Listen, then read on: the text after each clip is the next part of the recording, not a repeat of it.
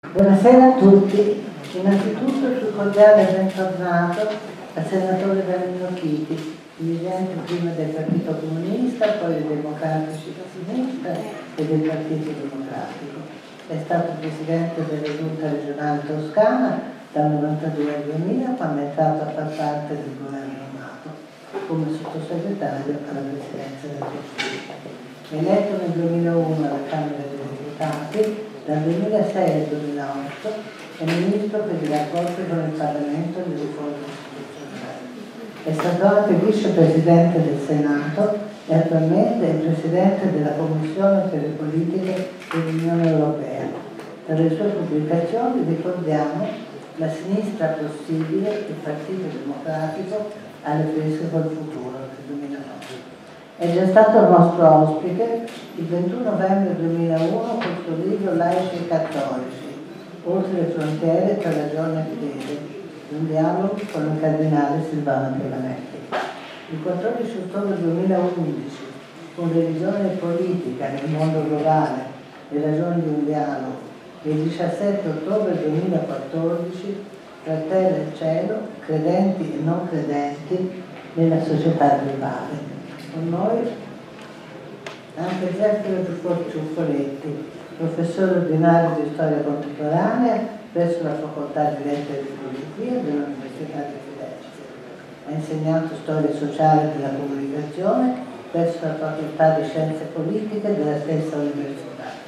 Dario Nardella, nato del Greco, diplomato in violino presso il Conservatorio Luigi Cherubini di Firenze nel 1998, e poi laureato in giurisprudenza presso l'Università degli Studi di Firenze con 110 lode, conseguendo successivamente un dottorato di ricerca di diritto pubblico e dell'ambiente, ex deputato il Partito Democratico dal 26 maggio del 2014 a sindaco di Firenze, e Roberto Zaccaria, nato a Rimini, professore ordinario di istituzione di diritto pubblico presso l'Università di Firenze. È stato membro della Camera dei Deputati nella quarta, quinta e sesta legislatura.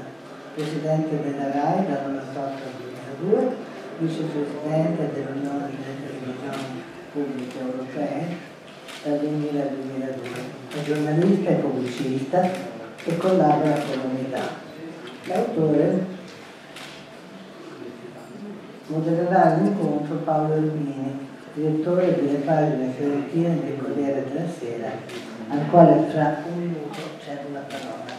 L'autore, alla quarta pubblicazione sull'argomento, prosegue una riflessione sui rapporti di scontro e di incontro tra laici e cattolici in Italia, sottolineando che nel nostro paese la laicità è stata concepita, almeno fino alla Costituzione repubblicana, in contrapposizione ai valori della Chiesa e proprio questa concezione le ha impedito di divenire cardine per la modernizzazione della società. Il volume suggerisce come la costruzione di un futuro democratico che abbia al centro, virgolette, la dignità di ogni persona debba passare per una rinnovata collaborazione tra questi due mondi che troppo spesso finora hanno percorso strade parallele senza incontrarsi realmente.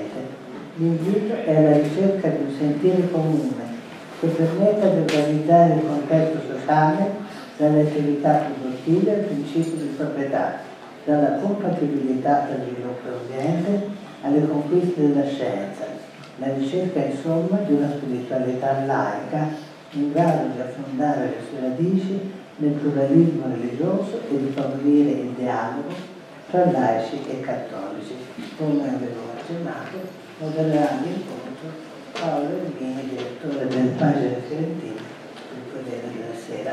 La parola.